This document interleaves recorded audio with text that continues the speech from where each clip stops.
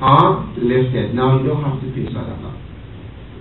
The only one who acted upon this ayah that Allah subhanahu wa ta'ala revealed and he acted upon the ayah was just Amirul Mu'mineen. So uh, Abdullah ibn Umar said, I always envy Amirul Mu'mineen for this. That's number two. Number three, he said, the other three that I always envy and wish that I had one of them is what he said. Also the day of Khaybar. When all of us as a companions we were hoping and praying that we are the ones the Prophet will give the raya, and it turned out to be Imam Amir So this reason that Imam Ali had, I wish always if I had one of them. He said, I have been a person who will be proud of himself and the entire world. I will not exchange it entire world for that reason. This ayah is the ayah of Najwa and is known as the, ayah of Amir al-Mu'mineen Imam Amir al-Mu'mineen there are a lot of things that Allah has given to him and made him unique that nobody has been given those gifts except Imam Amir al-Mu'mineen. One of them is this. is that being in the house of Allah subhanahu wa ta'ala. That if you look at the history since the day Allah SWT created Adam alayhi salam, up to date, no human being was ever been born in the house of Allah subhanahu wa ta'ala except Amirul Mu'mineen salam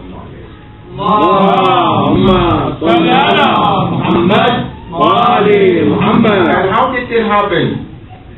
It happened when his mother, Fatima bint Asad, when she came and she was carrying Imam Amirul Mu'mineen salam and she started going around the Kaaba.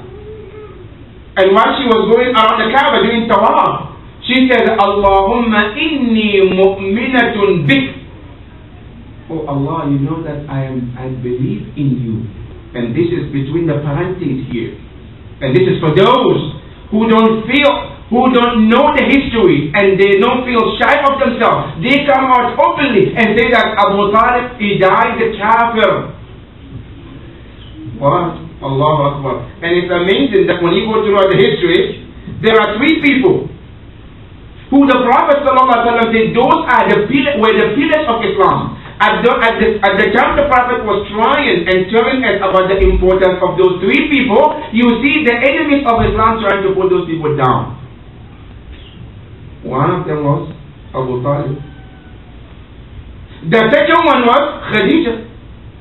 The third one was Imam Amir al-Mu'minin salamullah alayh. The hadith that we all know that the Prophet says, لولا مال خديجة وسيف علي وحماية أبو طالب لما كام لهذا الدين من أمر. These three people were the pillars of this Islam. These are the reason why Islam became what it is today. But now when you go to the history, the history tries to put these three people down. For Abu Talib, they said he died kafir. Khadija, they said no, she was what? She was married before. She had a kid before. Before she came and married the Prophet Sallallahu Alaihi Wasallam. The third Imam Ali, no, don't even talk about it. He doesn't know how to do the Ghusl Janaba. He doesn't know how to pray. That was the enemies of Islam, huh?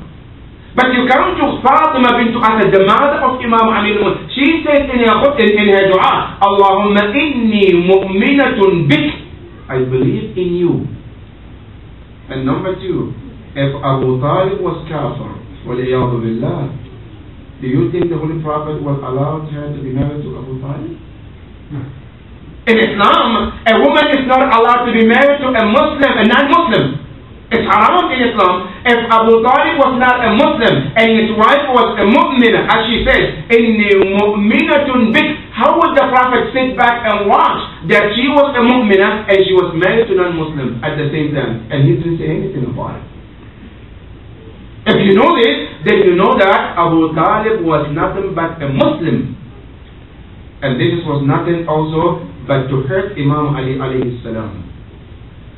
So Fatima when she came and she was going around the Kaaba, she said, Allahumma inni mu'minatun bik wa musaddiqatun bi nubuwwati nabiyyika Ibrahim al-Khalil.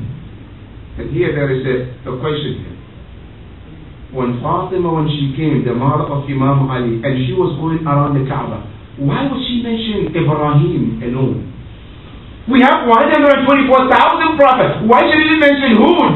Why should he mention Zachariah? Why should he mention Noah? Why should he mention Isa? Why? Why Ibrahim? There have to be a reason, there have to be a wisdom behind why she mentioned Ibrahim alone.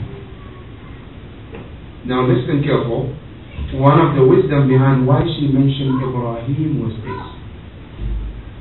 Number one, because Ibrahim al-Khalil, he had agreement and request from Allah subhanahu wa ta'ala. What was the request? The day that Allah subhanahu wa ta'ala made him imam, where Allah subhanahu wa ta'ala said, إِنِّي جَاعِلُكَ لِلنَّاسِ إِمَامًا Allah said, Ya Ibrahim, we made you imam. Ibrahim immediately asked Allah, وَمِن ذُرِّيَّتِي Also my progeny will be imam? Allah said, yes.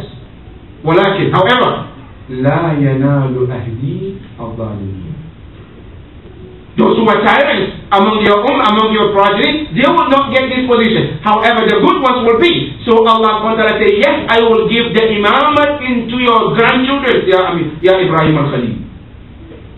Now Allah subhanahu wa ta'ala wanted to fulfill that promise to Ibrahim.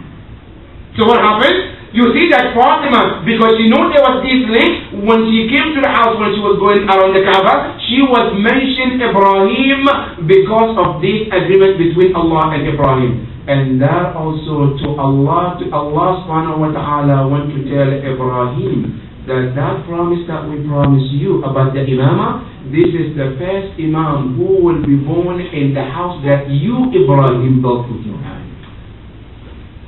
which is the house of Allah subhanahu wa ta'ala. So when she came and she was going around the Kaaba and she was going into labor, while she was mentioning Ibrahim al Khalil, the history tells us that immediately the, the Kaaba started to crack. Allahu Akbar. And Fatima alayhi salam, she went inside.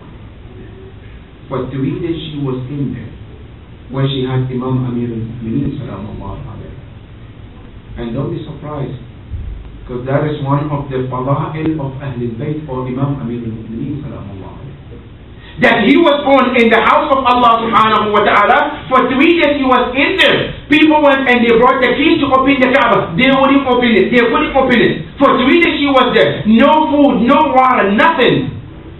Her and Allah and his son, Imam Amir al-Mu'mineen, until the third day when the Prophet ﷺ entered the Kaaba, immediately it happened that Fatima alayhi salam, she was coming out with her son, Imam Amir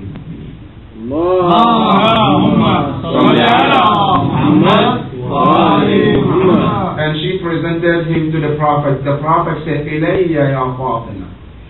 Bring him to me. Allahu Akbar. The Holy Prophet took Imam Ali alayhi salam and he hold him. He kissed Imam Ali alayhi salam. The narrator says what happened that at that moment Imam the Prophet sallallahu alayhi wa sallam, he put his, he placed his tongue in the mouth of Imam Amir al-Mu'mineen. You know what? They say because the Prophet was transferring that knowledge and the wisdom that Allah gave him mm-hmm. to the wasi of Imam Amir al-Mu'mineen Gave it to Imam Ali, the Prophet sallallahu alayhi wa sallam which the Holy Prophet ﷺ raised Imam Ali in his house. The Holy Prophet ﷺ was the one who raised Imam Ali from day one.